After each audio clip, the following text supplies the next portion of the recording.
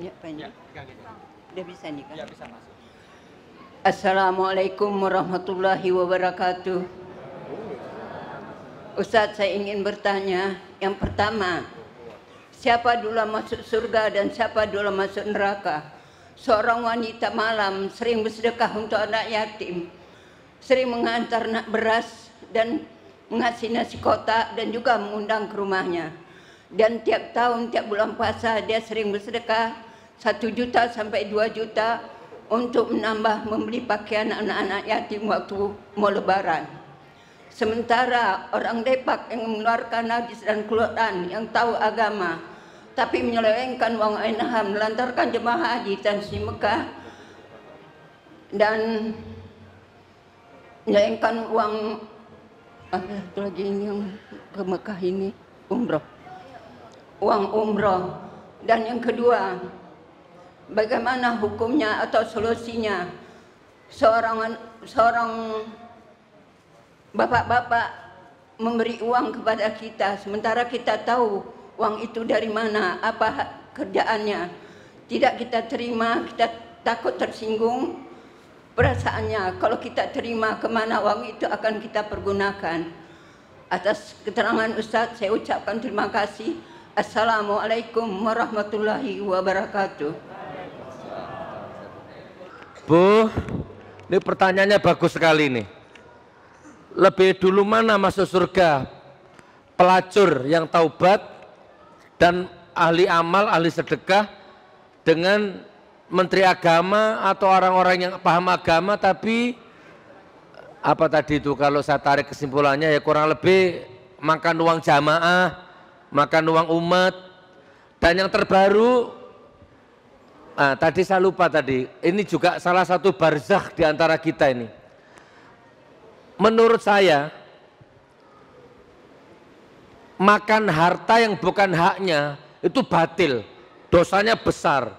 Nah ini ada kasus travel namanya first, first travel ya. Itu uangnya jamaah itu kurang lebih ini disita sama negara. Kata kejarinya, udahlah niatkan sedekah, halal, halal, sama saja. Dengan seenak-enaknya ngomong seperti itu, dan hartanya disita untuk negara. Saya berani mubahalah, wallahi. Ayo kalau nggak percaya ambil Al-Qur'annya, saya mubahalah ini. Itu batil, itu dolim. Jangankan seribu orang tidak ikhlas, satu orang saja nggak ikhlas, rasakan azabmu nanti itu. Ini negara coba, inilah berzah di antara kita. Ini pembatas di antara kita. Rakyat ini sudah susah dibikin susah. Orang kepengen umroh itu tetes demi tetes dia kumpulkan. Baik keringat, baik air mata. Ternyata ditipu sama travelnya. Dan tadi saya lihat di TV, salah satu jamaahnya diwawancarai sama TV. Dan dia bilang, saya nggak ikhlas. ini kan menjadi aneh dan jadi pertanyaan besar bagi kita. Bagaimana? Saya, saya ini uh, 13 orang loh. 13 orang. Istri saya, anak saya, uh, abang saya, mertua saya, bahkan sudah ada yang meninggal. Hmm. Itu totalnya itu 186 juta, Juta rupiah. rupiah. Nah, bagaimana kemudian pengadilan mengambil keputusan uang yang kami cari dengan keringat kami Iya. itu kemudian diserahkan kepada negara. Logikanya seperti apa? Saya tidak paham. Ini yang ada dalam pemikiran 58 ribu jamaah. Ya korbannya 58 ribu. Ya.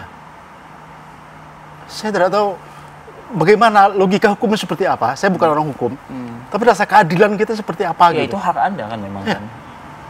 Bagaimana? Saya oke. Saya bisa membayangkan dari 58 ribu orang ada ibu-ibu dari desa, bayangkan seperti itu. Yang mengumpulkan uang bertahun-tahun Iya. dan kemudian pengadilan memutuskan semua aset dilelang untuk negara. Saya kemarin bicara dengan beberapa teman, saya katakan, ini bagaimana, hukum apa yang kita gunakan? Bagaimana kami yang korban, tapi negara yang diuntungkan. Iya benar. Nah, mendengar, mendengar eh, Kemudian kita juga menyewa pengacara. Nah, dengan harapan eh, hak kita sebagai jemaah itu bisa terpenuhi. Dan harapan kita ini juga kita titipkan kepada para penegak hukum. baik, Bu ini Dalam arti untuk mereka memahami bagaimana kondisi jamaah. Tidak hanya yang ada di Provinsi Bengkulu, saya rasa seluruh Indonesia karena kita pernah bertemu. baik. Tapi ternyata hasil dari keputusan pengadilan itu sangat mengecewakan kita. Betul. Dan kemarin saya hanya baca di eh, media online dengan pertimbangan keputusan hakim antara lain kalau itu aset dari first travel itu dikembalikan kepada jemaah itu akan menimbulkan keributan jemaah. Ini jemaah mana yang ribut? Ya.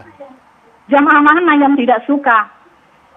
Jamaah, seluruh jamaah saya rasa mengharapkan sama bahwa itu hak mereka, aset mereka, aset yang sudah disita, itu tidak dikembalikan kepada negara, tetapi dikembalikan kepada jamaah. Baik. Terserah jamaah mau apakan, apa jamaah mau buat eh, satu koperasi atau jamaah mau bagikan walaupun hanya satu rupiah satu orang.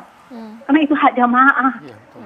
Tapi saya heran kok para penegak hukum tidak terbacakan hal ini, keprihatinan jamaah. Baik. Memang sebenarnya yang Bapak dirasakan tahu, para Ibu korban ini tahu. sama ya, Vi ya. Ya, Jamaah ini. kami dari Bengkulu ada tukang sayur, Ya, ada imam masjid yang kondisi ekonomi mereka. Bapak Ibu tahu sendiri. Baik, Bu Aini. Nah ini kondisi ini tolong jadi perhatian, tidak hanya pemerintah, tetapi ada para penegak hukum. Tolong berikan keadilan kepada para jamaah yang ada seluruh Indonesia dengan kerugian seperti yang disampaikan saya dengar tadi di di di, di Tiwan, itu tidak hanya eh, kerugian materi, ya, semuanya, rugi waktu dan lain sebagainya. Ada jemaah kami dari Bengkulu yang meninggal dunia, itu harus tahu. Nah, apakah para penegak hukum tidak terpikirkan hal ini? Baik. Tahu matinya penguasa rezim ini kayak apa besok itu? Kurang kenyang makan uang BPJS, kurang kenyang makan uang EKTP, kurang kenyang makan sumber waras, kurang kenyang makan uang sum apa? Reklamasi, Meikarta, kur- kurang kenyang. Dana haji, sekarang ditambah uangnya jamaah umroh, kurang kenyang. Bus Trans Jakarta kurang kenyang. Itu perutmu terbuat dari apa itu kira-kira itu? Mudah-mudahan ada umur. Duluan siapa yang mati? Wallahi, saya pengen tahu cara matimu kayak apa nanti itu. Loh, yang benar itu kembalikan ke uang yang punya. Rakyatmu sudah menderita. Inilah barzah di antara kita. Jadi kalau anda nanya ke saya itu dolim, itu perampok. Nah, tapi kata mereka itu halal. Gitu ibu. Jadi pertanyaannya ibu tadi saya jawab, bu, kalau konteksnya surga dan neraka itu mutlak prerogatif Allah, bukan karena A, B, alim, putih, bejat, baik, bukan. Jadi ada hadis begini, walaupun dari kecil ibadah terus, dari lahir ibadah terus, surga sudah di depan mata ini, tinggal satu langkah surga. Tapi kalau Allah tidak menghendaki di penghujung umurnya ternyata dia bermaksiat dan maksiatnya itu yang menyebabkan dia akhirnya mati dan dalam kondisi suul khotimah maka dia masuk neraka. Padahal sepanjang umurnya pahala terus. Hanya endingnya saja dia berbuat maksiat maka dia masuk neraka atau sebaliknya dari lahir maksiat terus dosa terus tetapi Allah berkehendak orang ini masuk surga. Di penghujung umurnya ternyata diridhoi sama Allah matinya husnul khotimah. Padahal neraka sudah di depan mata ini. Sudah ahli neraka ini. Tapi Allah berkehendak orang ini jadi masuk surga. Maka ya ayat Tuhan masul mutmainah. Mendetak jelang-jelang mendekati mati ternyata orang ini dapat hidayah. Maka orang ini masuk surga.